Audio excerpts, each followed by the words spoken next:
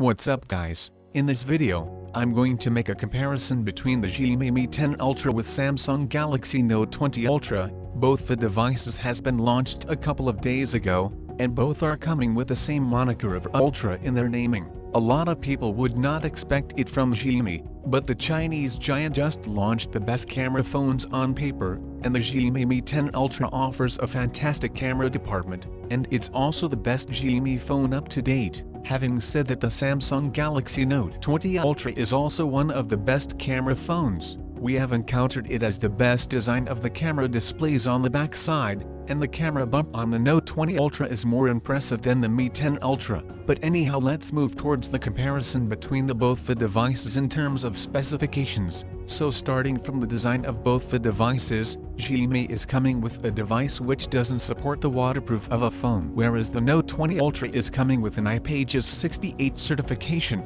Furthermore the Samsung Galaxy Note 20 Ultra offers a stainless steel frame and a new Gorilla Glass Victus protection on the front and the rear of the gloss, whereas we don't see any kind of protection on the back side of panel of the Mi 10 Ultra. You know Note 20 Ultra is going to be definitely the best device in terms of build quality and even it comes with more beautiful design. So moving on towards the display, the Samsung Galaxy Note 20 Ultra has one of the best standing display out there with USD plus resolution a high brightness outstanding colors and refresh rates of to 120Hz. Xiaomi Mi 10 Ultra still comes with a great panel including 120Hz of refresh HDR10+, but it cannot be compared with the Samsung Galaxy Note 20 Ultra in any way. Last but not the least note that the Samsung Galaxy Note 20 Ultra supports the S Pen with 9 milliseconds of our response time is an added advantage in the Galaxy Note 20 Ultra, which we doesn't see in the Mi Note 10 Ultra,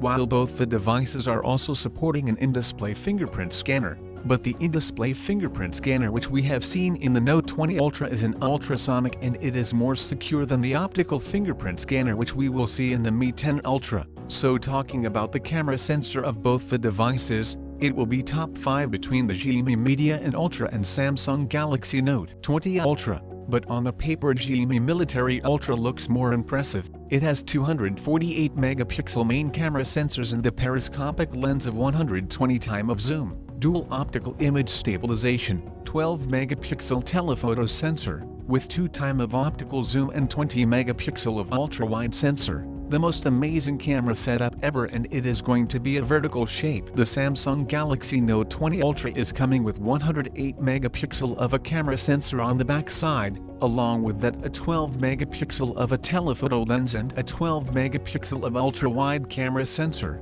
and with that it is also coming with a laser autofocus camera supported on the back side, and that is going to be the best thing which is going to be happening. It says the video recording is supported in both the devices, but 108 megapixel advantages are more far enough than the Mi 10 Ultra. Xiaomi Mi 10 Ultra has hold the number one position in the DxOMark in terms of camera department, so clearly we will see a better camera sensor inside the Mi 10 Ultra as compared to Note 20 Ultra. Now moving on towards the internals of both the devices well. The US version of the Samsung Galaxy Note 20 Ultra has the most advanced hardware department, because it is fueled by the new Snapdragon 865 Plus mobile platform. But if we consider the U version with Exynos 990, well it's fall behind the Xiaomi Mi 10 Ultra powered by Snapdragon 865 paired with 16GB of RAM and UFS 3.1 internal storage. All of the phones are running Android 10, out of the box with their own custom skin on top of that. Xiaomi Mi 10 Ultra has 4500 mAh of a battery just like the Samsung Galaxy Note 20 Ultra,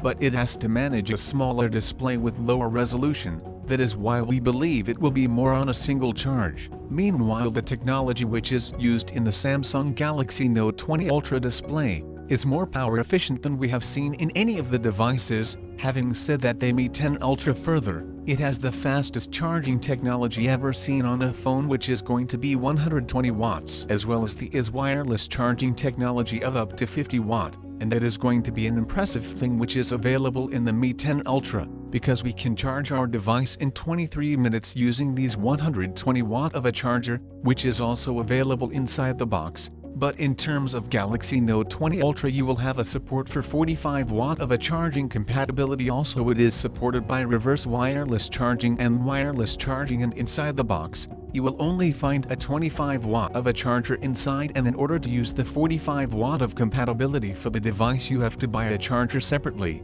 So lastly it's going to be the price of both the devices, Mi 10 Ultra carries the starting price of $766 in China, and Samsung Galaxy Note 20 Ultra is coming with a price tag of $1,300. The Samsung Galaxy Note 20 Ultra is more complete device due to the S Pen support waterproof design amazing build quality better display, but it lacks very fast charging speed. But Xiaomi Mi 10 Ultra is an amazing camera phone and the fast charging compatibility is also supported inside the device and it has the highest value of money right now. So guys what are your opinion regarding these pairs and what is your choice of a device? Which device you want to buy the Xiaomi Mi 10 Ultra or the Galaxy Note 20 Ultra? Let me know your thoughts in the comment section below. And if you like this video, subscribe the channel will be amazing. My name is Arjun, this is Digital Outside, I'll catch you in the next one.